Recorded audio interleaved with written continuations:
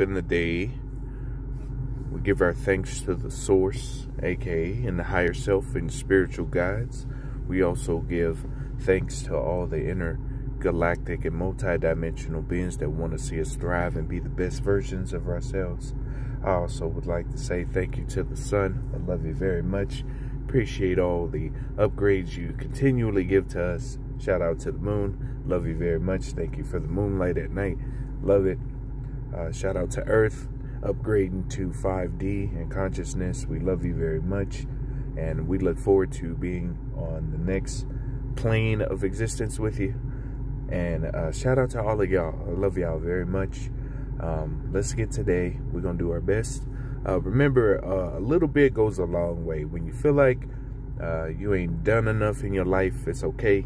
You went through a lot of trials and errors in order to get where you are right now.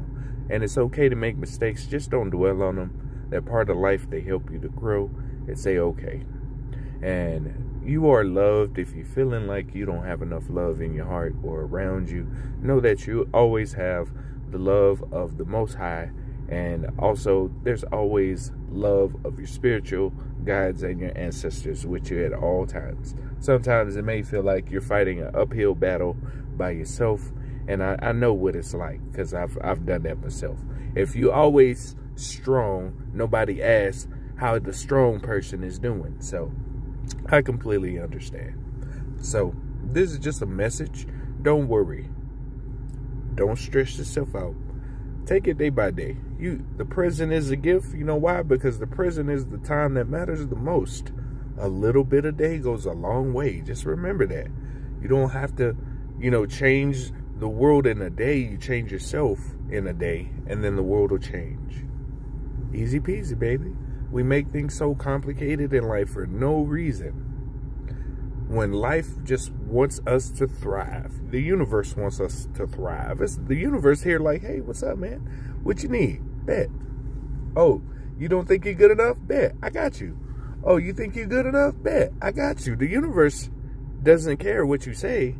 It does care, but it's not uh, biased. So whatever you say is true. So say truthful things to yourself like you're loved, you're infinite abundance. You're always a part of the source. You have a direct connection to the source, the most high, infinite creator, whatever you want to call it. And honestly, you'll be okay. I know it's hard, but you're going to make it through. I love you, and the universe love you. So let's love this day and let's get it. Let's go. Much love.